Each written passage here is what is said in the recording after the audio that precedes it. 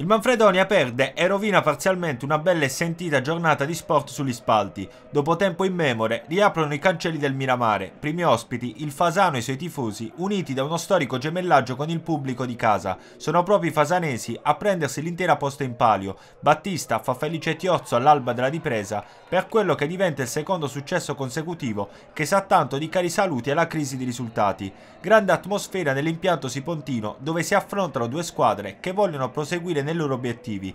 Dopo la mezza impresa di Altamura, Franco 5 ritrova Calemme a legare il gioco alle spalle del collaudato trio Balba Carbonaro Babai. Per il resto, formazione tipo con Orlando e Knights ancora in panchina. Nel 4-2-3-1 di Tiozzo, Battista è l'ago della bilancia e motore della squadra. Qualità anche nei piedi di Melillo, alle spalle della punta Dorato. In mediana Cellezzi accanto all'esperto Ganci. Tanto freddo sulle rive dell'Adriatico, ma temperatura che sale in campo e sugli spalti. Avvio davvero piacevole di Marcador Macedonia. Poca roba, il destro in precario equilibrio di Balba, meglio nella preparazione quello di Calemme, tuttavia alto. C'è anche il Fasano, al 34esimo, Brignola offre un saggio delle sue qualità, corsa, dribbling, ma mancino, che termina la sua corsa sull'esterno della rete. Squadre lunghe e continui capovolgimenti di fronte. Amabile, va dal limite, ma Lazzar è bravo e si vede. Fa scalpore un Battista poco coinvolto in zona rossa. Il primo campanello d'allarme lo offre al 36esimo, aggancio e tiro alla sua maniera, al lato davvero di niente.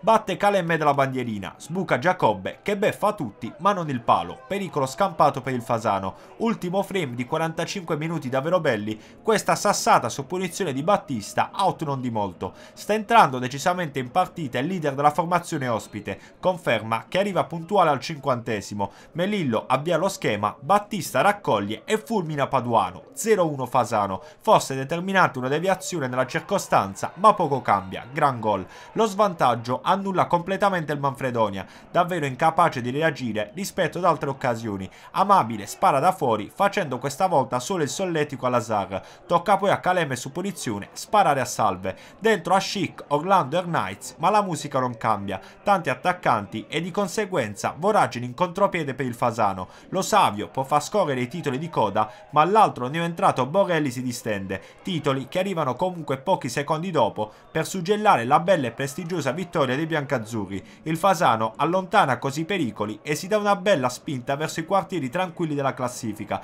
Per il Manfredonia è solo la seconda sconfitta in due mesi che non deve minare un entusiasmo ora ai massimi termini, complice il forse definitivo ritorno del dodicesimo uomo in campo. Nel prossimo turno Angri Manfredonia e Fasano Bitonto.